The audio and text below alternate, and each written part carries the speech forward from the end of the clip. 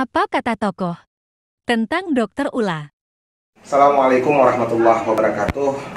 Menuju kontestasi pemilu 2024 mendatang, kami berharap dukungan dan pilihannya kepada Dokter Dokter Ula Nukrawati MM saya Maulana Mauludi selaku Ketua Umum Dewan Pimpinan Pusat Sentra Analisa Strategis DPP CAS mengharapkan dukungan penuh dari warga Kota Jakarta yang mempunyai hak pilih agar kiranya memberikan dukungan dan pilihannya kepada Dr. Ula karena beliau adalah salah satu tokoh wanita yang selama ini memperjuangkan penuh aspirasi kaum wanita dan sebagai salah satu aktivis yang juga telah malang melintang di Republik ini dengan berbagai organisasi yang telah diikutinya.